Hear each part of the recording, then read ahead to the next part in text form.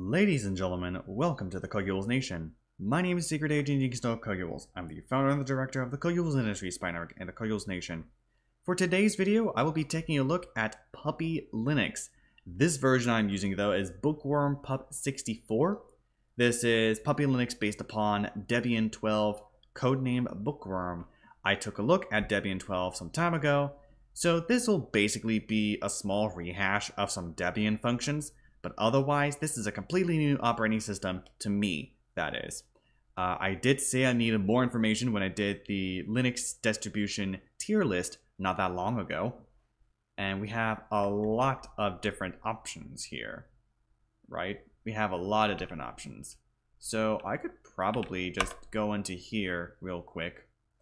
And I was probing around a little bit ago in terms of using Puppy and whatnot.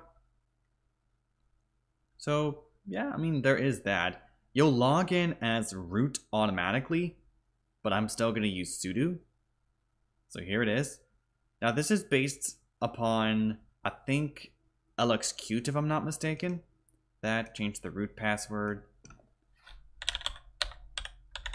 Right, so this isn't all that bad, right? I just want to use America, Los Angeles, which is my time zone. I can actually find it. There it is. Okay, let's do that. Let's go ahead and pull this off. Then in terms of xrandr, then for 1080, I want 1080. 1080 60.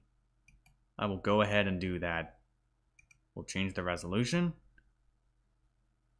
So that's not going to be too bad then. Uh, make that permanent. I'd like that to be permanent. Screen resolution, xorg.conf. Okay, so I think that should be fine then. All I have to do... Oh wow, this uses OpenBox. I didn't even realize it was actually OpenBox based, so there's that. I will grab one more thing. And then I will do Spice VD Agent. I think this is It'd be better if I actually did two of those. That would be silly, would it? No, so I need to use Synaptic. I need to find Synaptic then. Okay, so that was already changed. Set an administrator password. I will make a strong and complicated password. So I think that should help keyboard layout, time zone, host name. Let's restart X to do that. So X should be okay. So we're good there on that front. I can do a lot of setup here. There's like a lot of setup things you can do. It is insane how customizable this is, despite being extremely lightweight. Look at this. Look at that. Could you do this with like Mint, which is what I use? I mean, they got like flipping Samba of all things. They got Samba. I mean, Mint does come with Samba, but not as insane as what we're looking at here. Here's the package manager. I think this is the puppy package manager. I want to look for spice though. No, okay. So all of this is like puppy stuff. Here's APT, so this will be Synaptic, right? This will also use Synaptic. So there's going to be some, for the most part. Spice VD agent. Or is it just Spice? Might just be Spice, actually. No? Okay, so it looks like Spice is not even on here. Alright, so I may have to set this up to like 1080 then. There's the conky. I think the conky comes up by default. I think I need sudo. No, I can just use that then. Because I think I'm already at the root. So I'm good on that front maybe. I'm not entirely sure about it though. But I am going to let that update and I'm going to take a look at some other things around here. You can also right click since this looks to be open box based.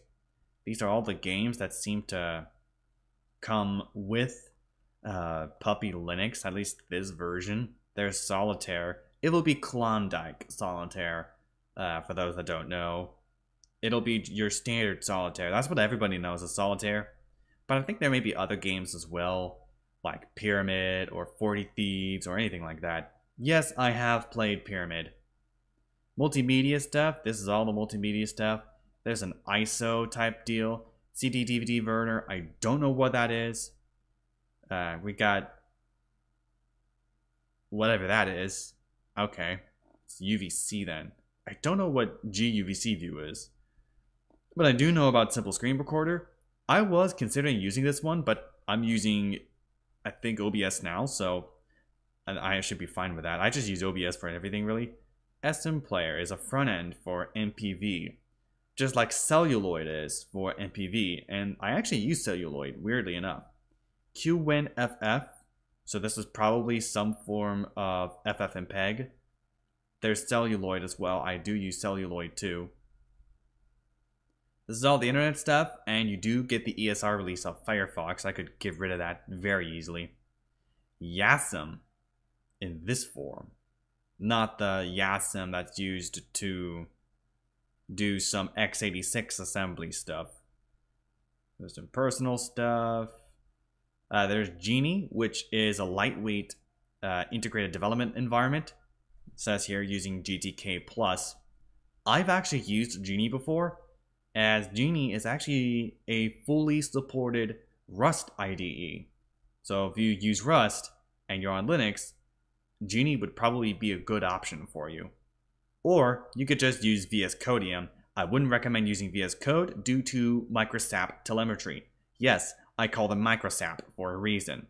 Uh, we got View Viewnior, which is an image viewer. mtPaint is basically a poor man's Krita despite the fact Krita is also free software. For the file system, I could try to do like XFE or RoxFilter or RoxFiler. This is what RoxFiler looks like. And I think it goes to like, where's the home? This is home. Okay, this is actually the home configuration and whatnot. And then I've already taken a look at this earlier. Uh, the if I do apt update, or upgrade, curl is actually being uh, tested. It's in the Debian testing repositories. There is a vulnerability in curl that I don't know about, and I hadn't even taken a look at it, but I do know there is a vulnerability that is getting fixed in the new version of curl. And this will be out on all Linux machines. It'll probably be out by the time this video is already out, so eh, who cares? Then I can also use XFE Oh wow, XFE is completely different from Roxfiler. So that's extremely interesting. There's puppy reference. I don't know what that's all about, but I think that should be okay for the most part. I'll just use the right click menu. I think I should be fine with that. But yeah, not bad at all. Right? I'd say, I mean, it's like a basic sort of setup. Now, if you did want to try the game on this, you could always try using the Debian gaming tutorial.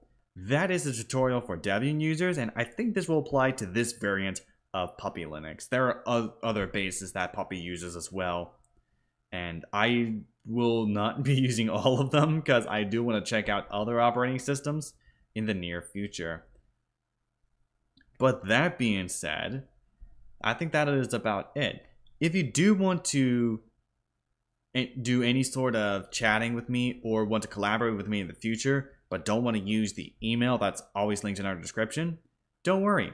Feel free to join our Matrix community, which is still being built at this time, though I think I put it on a hiatus for the time being. But otherwise, that's about it for this video. Thank you, and good night.